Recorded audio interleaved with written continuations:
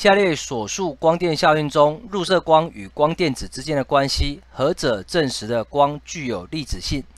我们来看一下选项 A，他说光电子的数目与照射在金属表面的入射光频率成正比。啊，首先呢，这句话本身就已经错了，好，所以它当然不会列入我们的选项啦。实际上是这样哈，打出来的光电子的数目应该跟入射光的什么强度或者是亮度有正相关，好，所以 A 是错的。再来 B，光电子产生与否决定在照射在金属表面上入射光的强度，这句话也是错的，决定的是什么？入射光的频率，我要超过一个底线频率嘛，对不对？电子才。有机会被打出来，对不对？好，那再来 C，照射于金属表面的入射光频率需要大于某一个特定值才能产生光电子。诶，这句话是对的哦，我们就列入候选名单。好，再来猪照射于金属表面的入射光波长必须要大于某一个特定值才能产生光电子。我们要产生光电效应，你的入射光能量要够大。入射光能量要大的话，波长应该怎么样？应该要小才对。这里写大于，所以这句话它本身也是错的。再来一，照射于金属表面的入射光波长还有强度都要大于某一个值才可以产生光电子，这句话也错。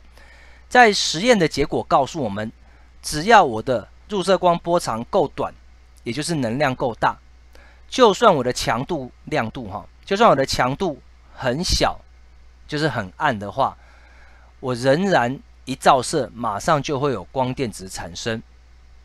OK，好，所以强度不一定要大于某一个特定值，好吧？那这样我只有 C 选项可以选呢，那答案就是 C。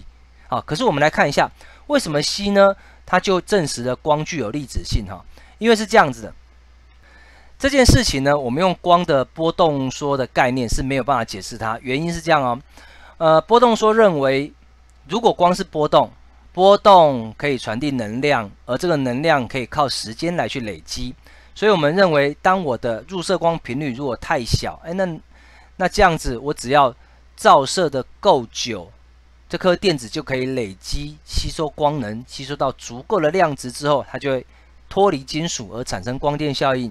可是实际上没有发生这种事情，当我频率不够，我照的再久，亮度调的再亮也没有用。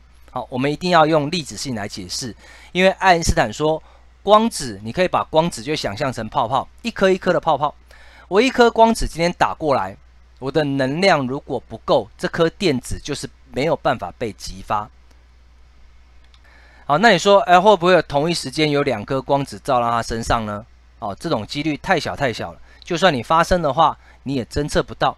OK，哦，所以。